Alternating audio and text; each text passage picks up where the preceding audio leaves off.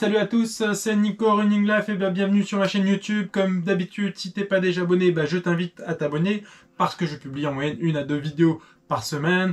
Et donc, euh, bah, n'hésite pas voilà, à activer la petite cloche, euh, mettre un petit pouce bleu quand tu aimes bien les, vidéos. Ça aide énormément à développer la, communauté. Et d'ailleurs, vous êtes de plus en plus nombreux, donc je vous en remercie. Euh, aujourd'hui, donc on va regarder un petit peu euh, comment construire un programme d'entraînement, alors surtout un programme de saison euh, complet pour bah, l'année prochaine et vous donner un petit peu les fondamentaux de ce qu'il faut faire, pas faire pour, ça, pour faire ça. Donc déjà, euh, comment on doit construire une saison? Alors moi je suis en train de construire ma saison et donc du coup bah, je vais vous donner un petit peu moi ce que je fais pour que vous puissiez y réfléchir pour 2023. Ça va vous donner un petit peu euh, des tendances. Donc déjà, euh, quand vous construisez votre saison, il faut savoir que en règle générale, et c'est pas une règle, c'est il faut pas dépasser deux à trois objectifs dits majeurs. Ça c'est vraiment les cours sur lesquels vous voulez faire un temps, vous voulez être finisher, voilà, c'est vos objectifs principaux. Moi, pour le coup, euh, bah, cette année, j'en avais 3. Voilà, l'année prochaine, c'est pareil. Je vous conseille de ne pas dépasser 2 à 3 objectifs principaux dans l'année. Euh, parce qu'en termes de charge mentale, euh, mais aussi par rapport à la fatigue du corps, c'est important de respecter ces piliers fondamentaux. Donc, voilà, à peu près tous les 3-4 mois, vous mettez une course dit euh, objectif, ce que j'appellerais objectif 1, le principal. Donc pour ma part, euh, du coup, je me suis déjà bloqué mon programme, et donc c'est ce qu'on va devoir voir. Donc déjà les trois briques, voilà, je vais vous les mettre en même temps que je parle. Donc en avril, il y aura ce que j'appelle l'Ultra Trail de Madère, qui est le Mute, qui est un 85 km et un 4600 D+, qui sera mon objectif 1 euh, sur ma saison 2023. Le deuxième objectif principal, sera en juillet. Euh, on fera ce qu'on appelle la 6000D, qui est aussi un, gros trail de 64 km et de 3400 D+. Donc vous voyez déjà, euh, sur 6 mois de l'année, j'espace entre 3 et 4 mois à chaque fois. Donc là, en l'occurrence, il y a quasiment 2 ou 3 mois d'espacement entre chaque objectif, de se laisser 3 mois de récupération. C'est important pour la récupération physique, mais aussi la charge mentale. Et en octobre, voilà, fin, fin septembre, octobre, Aujourd'hui, c'est pas encore défini clairement dans le programme, je sais pas. Peut-être que je prendrai ma revanche sur les Templiers sur le 80, peut-être que j'irai faire l'UTMJ.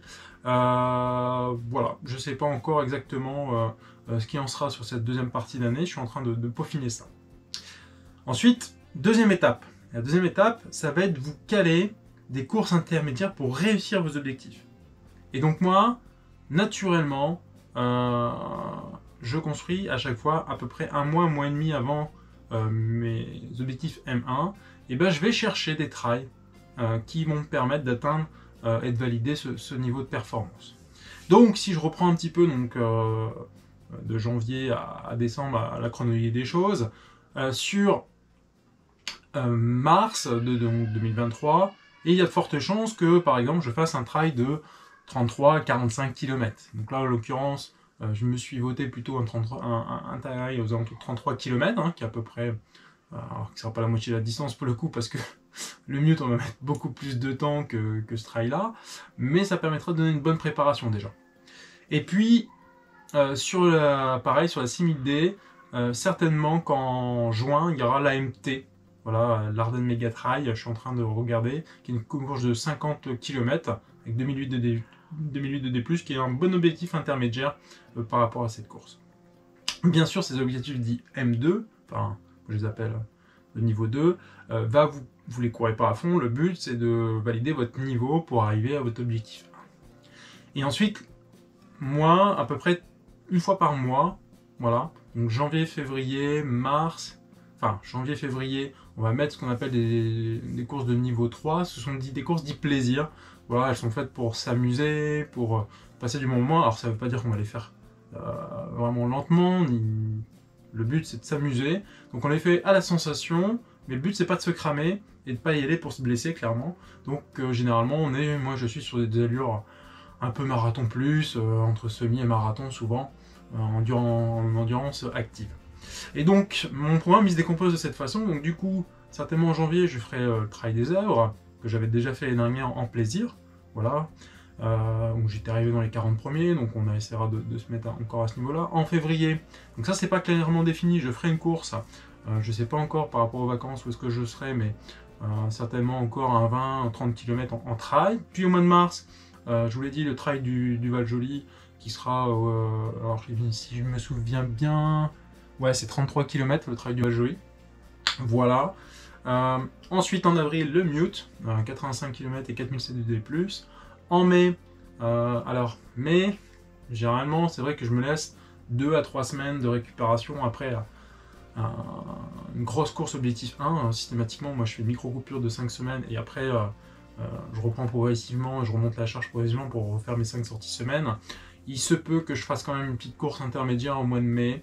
Voilà, peut-être on était sur le trail des Pyrénées Noires ou euh, la fameuse course euh, dans l'Est, euh, du côté de Strasbourg, de l'UTMB, sur une distance de entre 30 et 50 km. Je sais pas encore, ça c'est. Voilà, je suis en train d'affiner ça.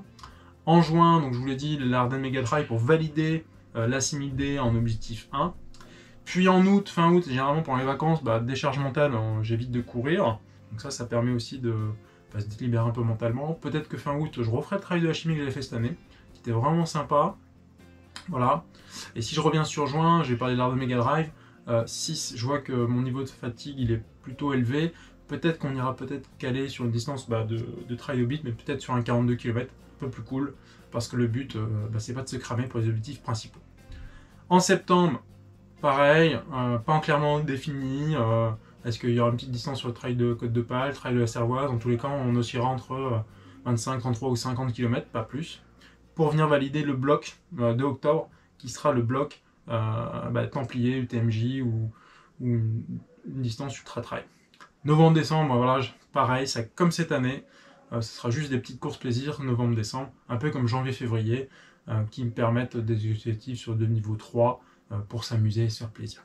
Voilà, donc si je résume un petit peu un programme d'entraînement, une saison complète, voilà, restez concentré sur 2-3 objectifs principaux. Pareil, ne mixez pas un mois en trail, un mois en running, c'est pas du tout la même chose. Euh, moi, je serais d'avis plutôt, si vous êtes, vous savez pas, vous orientez sur du running, du trail, vous savez pas trop, euh, faites 6 mois, 6 mois, enfin voilà, mais bossez pas tout d'un coup, c'est pas les mêmes, euh, c'est pas les mêmes objectifs, c'est pas les mêmes sensations, c'est pas le même type d'entraînement, enfin voilà, pas tout mixer non plus. Vous y allez arriver à faire quelque chose, mais ce sera pas aussi efficace que ce que vous êtes voté vous à titre personnel. Donc voilà, donc ça vous donne un peu une structure à organiser. Ça vous, en plus, vous oblige. Donc moi, mes programmes d'entraînement, ils vont être faits sur mes objectifs M1. Voilà, tout ce qui est à côté, bah, c'est du bonus. Mais le but est bien de préparer la course d'objectif 1 que vous aurez défini, et euh, eh bien tout simplement dans votre saison. Moi, je vous encourage à mettre ça sur papier. Voilà. Hein, moi, je fais, euh, je me programme euh, toujours ma petite, voilà, mon petit papier de l'année. Je valide ça aussi avec bah, la famille. Hein. il faut clairement rentrer euh, toutes ces courses euh, avec le programme familial, donc c'est pas simple. Et euh, surtout, ça va vous. Voilà. vous ne faites pas une course d'objectif niveau 3, c'est pas grave. je veux dire, aujourd'hui, ces courses-là, vous les réservez à la dernière minute, une à deux semaines avant de la faire. ce qui est important, c'est de valider vos, vos objectifs, surtout un. Là, vous prenez les courses bah, dès que les deux SAR sont ouverts, comme ça, vous avez votre année qui est faite. Et puis les M2, vous les calez, mais un mois, un ou deux mois avant de les courir, vous bloquez déjà vos inscriptions. Les courses plaisir, ce qu'on a parlé, euh, voilà, vous pouvez le faire aussi en fonction de, votre planning perso, euh, professionnel, et puis adapter cette charge. Voilà les runners, bah, j'espère avoir répondu un petit peu à vos attentes. Euh, surtout, bossez pas tout d'un coup, hein, on y va brique par brique, élément par élément. Et puis, bah, ça va le faire, il n'y a pas de raison. Donc sur ce, je vous souhaite eh ben, un bon run les amis, je vous dis peut-être à bientôt sur une prochaine course, hein, parce que je vous ai dévoilé un petit peu euh, déjà les, futures courses que je compte faire, alors il y aura certainement un petit peu de réglage encore d'ici là, mais au moins ça donne déjà les tendances de, 2023, et puis euh, sportez-vous bien, à bientôt, ciao ciao les runners, à bientôt sur une course